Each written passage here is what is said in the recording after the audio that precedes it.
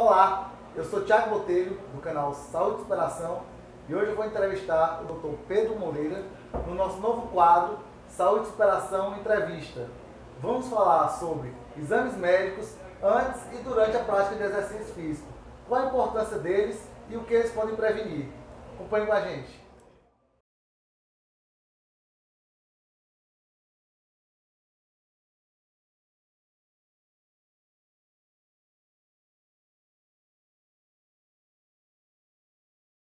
Doutor, fala pra gente qual a importância do check-up e dos exames médicos antes de iniciar a prática de exercício. Bem, primeiro, bom dia, Tiago e aqueles que nos assistem. É interessante que qualquer indivíduo que vá se submeter a um esforço físico superior ao normal do seu dia a dia, seja feita uma qualificação da, da sua condição física é, através de exames complementares, principalmente os exames que vão avaliar a função cardiorrespiratória. A função cardiorrespiratória, é, nós vamos pedir, por exemplo, o exame de, de eletrocardiograma. Esse eletrocardiograma vai, vai ver a função elétrica da, da, da, da cavidade cardíaca, se, se os estímulos elétricos estão sendo bem evoluídos Vamos ver o ecocardiograma, que nós vamos ver a parte estrutural do coração. O ecocardiograma vai medir as espessuras de parede, vai, vai ver qual a condição física desse coração, se ele não tem alguma hipo ou hipertrofia, porque quando o coração é submetido a um esforço físico acima do normal, ele se hipertrofia, isso é, ele aumenta de tamanho. Se ele está tendo uma função que não está funcionando bem, ele fica ao contrário, hipotrofiado. Consequentemente, isso vai, vai fazer com que você tenha resultados durante o exercício físico de maneira é, é, prejudicial. Ele deve também ser submetido a um teste de esforço, que nós chamamos de teste ergométrico, que esse teste de esforço vai, vai avaliar como está a função das, das artérias coronarianas, porque o nosso coração, como todo o restante do corpo, ele é alimentado por veias e artérias. No caso do coração, são essas artérias coronarianas que vão alimentar a massa muscular cardíaca. Em caso de entupimento, por isso que nós também pedimos é, o colesterol, que nós chamamos lipidograma, que vai estar incluído o colesterol bom, o colesterol ruim. Nós vamos pedir os triglicéridos, os colesterol são os produtos de, de, de massas, é, é, de massas aliás, das carnes vermelhas, principalmente ele vai aumentar com o uso da carne de gado, da carne de porco, e os triglicérides, que os triglicérides são que os produtos das massas, tipo é, é, é, é arroz, é, é, macarrão, os aminoácidos, enfim, e excesso. E essas massas também, esses triglicérides, o colesterol alterado, podem causar entupimento nessas veias. Por isso nós temos que estar controlando o, o colesterol e os triglicérides sempre antes desse exercício físico, vendo a capacidade física do coração para ver o que está acontecendo, para que essa pessoa realmente não vá ter nenhuma surpresa desagradável durante o processo de exercício físico.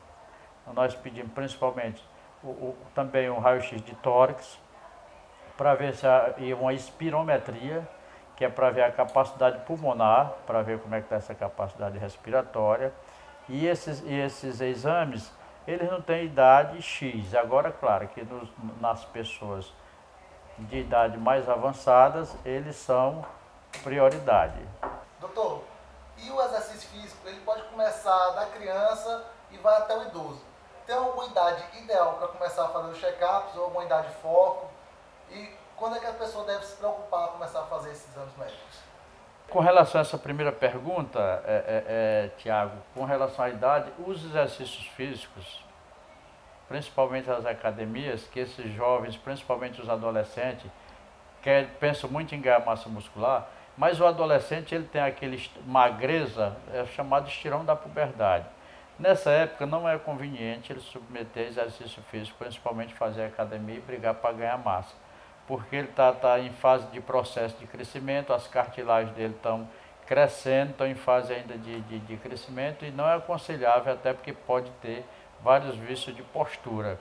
Então, o ideal é que esse exercício físico, principalmente nas academias, seja feito só a partir dos 18 anos nos jovens. E eles devem fazer sim também, assim como o adulto comum, ele deve fazer o exercício. E o, e o mais jovem, antes de 18 anos, pode se submeter a um exercício físico, mas de uma maneira bem orientada pelo, pelo, pelo preparador físico é, competente, que saiba os pós e os contras, porque, como tudo na vida, o, o, o excesso pode prejudicar. É, porque o adolescente tem aquele negócio de ser muito exagerado. Então, Perfeitamente. Então, a pessoa tem 14 anos, 15 anos, ela entra na academia, ela quer se comparar aos que são mais experientes termina fazendo coisas que não devem. Isso eu concordo com o senhor.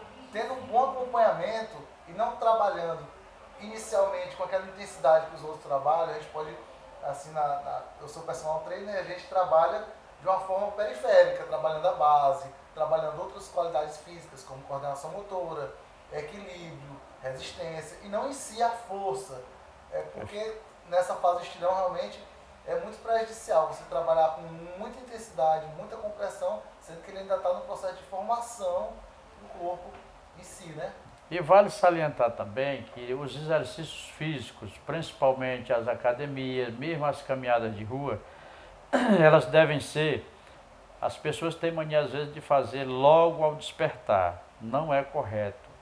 Depois que você despertar, porque no momento que você desperta, você tem na circulação sanguínea correndo enzimas, que essas enzimas elas fazem com que aumente a, a, a frequência cardíaca de maneira mais brusca, assim como a pressão arterial, que são chamadas as angiotensinas. Quem é que não se lembra do caso do infarto do, do Luiz Eduardo Magalhães, né? Por quê? Porque o cara vai e sai sem um preparo antes e já vai direto se submeter à força física de maneira intensa. Então o quê? Você deve primeiro acordar, se preparar no mínimo uma meia hora, uma hora, para poder começar, para poder começar, que é o tempo que essas enzimas vão, vão diminuindo na corrente sanguínea. E você nunca também deve se submeter ao esforço físico de maneira brusca, tem que ser gradativa para que o organismo, porque cada um de nós, nós temos é, é, é, uma capacidade física é, diferente, a nossa genética é diferente da minha da sua. Então, o que para mim pode ser muito esforço, para você pode não ser, e vice-versa. Então você tem que fazer de maneira gradativa, sempre acompanhando, inclusive tem outros exercícios tem outros exames que são mais específicos, como você fazer uma análise do, do ácido lático na, na, na, na musculatura, mas são coisas muito avançadas que ainda não está muito pronto para a nossa realidade. Então, só um preparador, só um trabalho tipo atletas profissionais é que são submetidos a esse tipo de exames, porque são equipamentos caríssimos que vão medir esses eletrólitos no organismo. Dependendo da modalidade que a pessoa vai treinar, ela tem exames específicos como o senhor falou.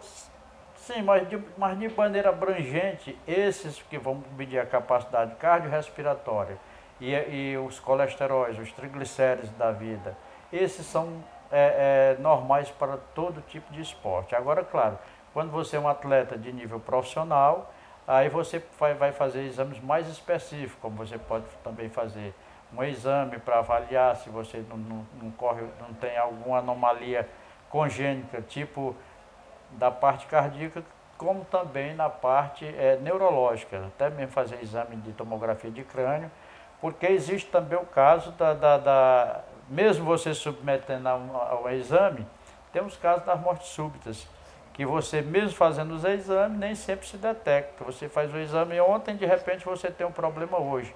Por quê? Porque um trombo desse, é, é, o que é o infarto? É o entupimento de uma artéria do coração por um trombo quer dizer, por uma, uma, uma, um, um, tipo, um coágulo sanguíneo, que ele se, às vezes ele está preso na parede de uma artéria e com o exame ele não é detectado, só na hora do que ele vai ser solto é que ele entope e a pessoa tem uma morte chamada morte súbita. Acontece muito nos atletas, principalmente futebol.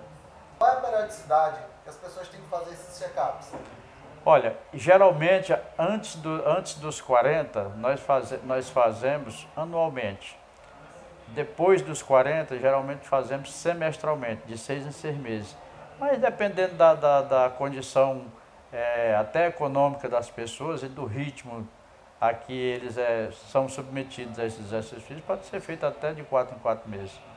Doutor, eu queria que o senhor correlacionasse a importância do envelhecimento da pessoa, de quando ela nasce até a terceira idade, relacionasse esse envelhecimento com atividade física, com alimentação saudável e com boas noites de sono.